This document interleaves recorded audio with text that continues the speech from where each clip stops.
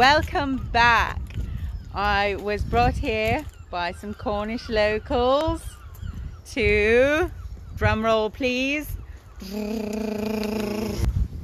Port Isaac. Yeah, boy.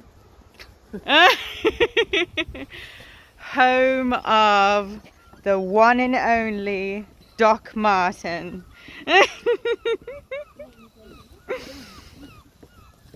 Let us get a closer look. Oh, I am a bit of a um, wimp, so I didn't get too much of the ride in because I had to lay down. oh God, all right. The birds are a bit more aggressive out here. Let's get... Goodness.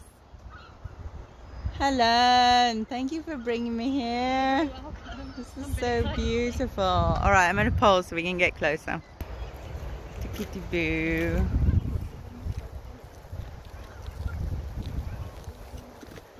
The waters are absolutely beautiful, and as I normally say, say it again, the camera does not do it justice. It is absolutely gorgeous out here. Let me get a screen couple of pictures there. And I'm losing my group. so,